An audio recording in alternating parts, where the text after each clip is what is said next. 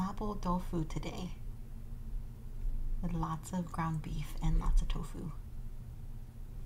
It's kind of a Japanese style one um, that I made. And some tea with lemon and honey.